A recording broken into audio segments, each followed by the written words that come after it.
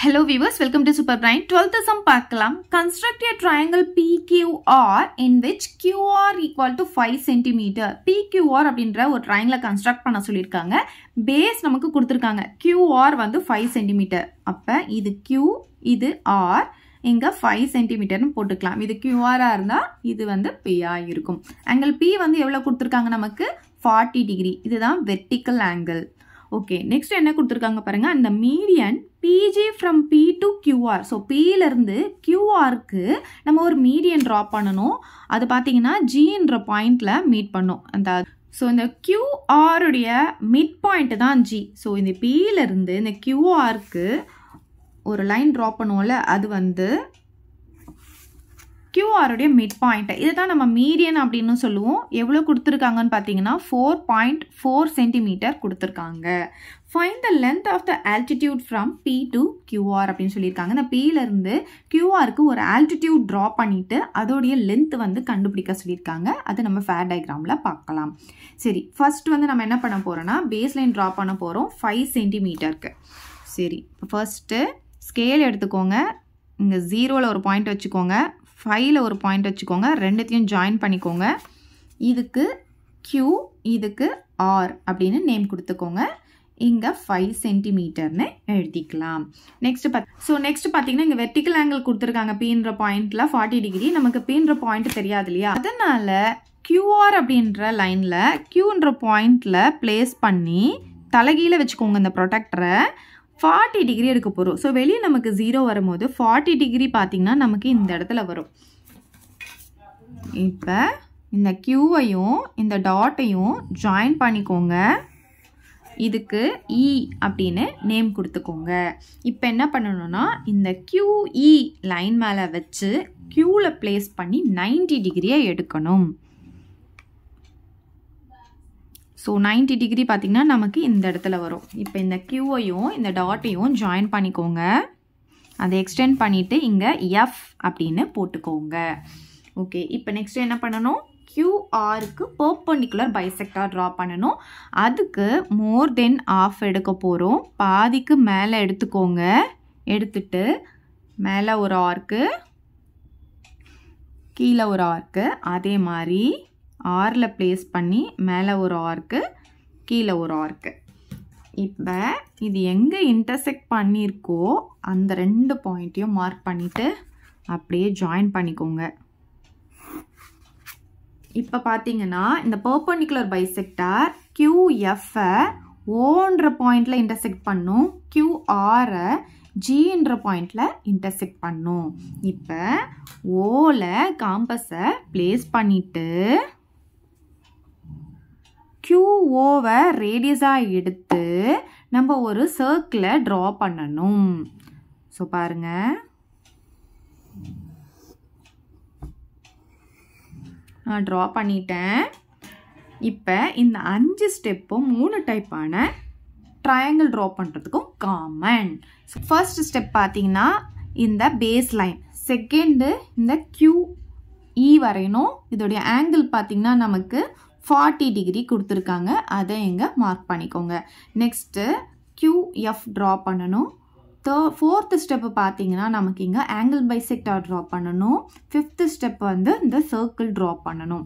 இந்த அஞ்சு ஸ்டெப்புமே மூணு டைப்பான ட்ரையாங்கிள் ட்ரா பண்ணுறதுக்கும் காமன் இங்கே பார்த்தீங்கன்னா நமக்கு ஃபர்ஸ்ட் டைப் அதாவது மீடியன் கொடுத்துருக்காங்க. மீடியன் வந்து ஃபர்ஸ்ட் டைப் செகண்ட் டைப்பில் ஆல்டிடியூட் கொடுத்துருப்பாங்க. தேர்ட் டைப்பில் நமக்கு ஆங்கிள் பைசெக்டார் கொடுத்துருப்பாங்க.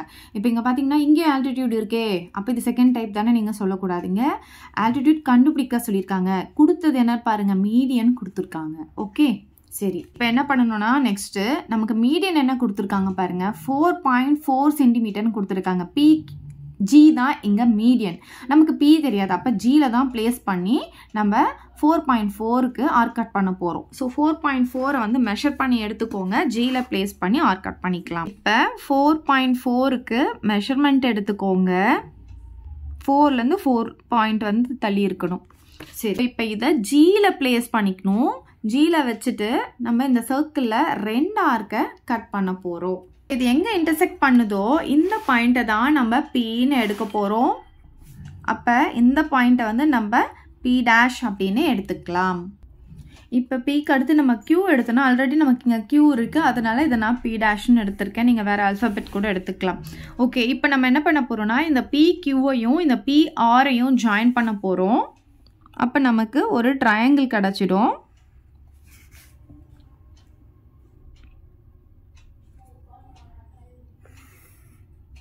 அதே மாதிரி இந்த மீடியனும் நம்ம ஜாயின் பண்ணிக்கணும்.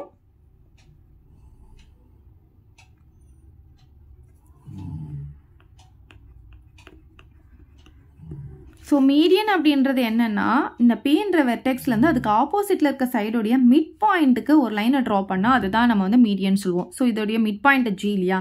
ஸோ இங்கேருந்து நமக்கு லைன் ட்ரா பண்ணியிருக்கோம் இது four point four centimetre okay இப்போ இந்த ஆங்கிள் வந்து நமக்கு கொடுத்துருக்காங்க. ஃபார்ட்டி டிகிரி வந்து இது தானாகவே இப்போ ஃபார்ம் ஆகிட்டுருக்கோம் நம்ம அளந்து பார்த்தா கரெக்டாக இருக்கும். நீங்கள் வேணால் ப்ரொடக்டர் வச்சு செக் பண்ணிக்கோங்க.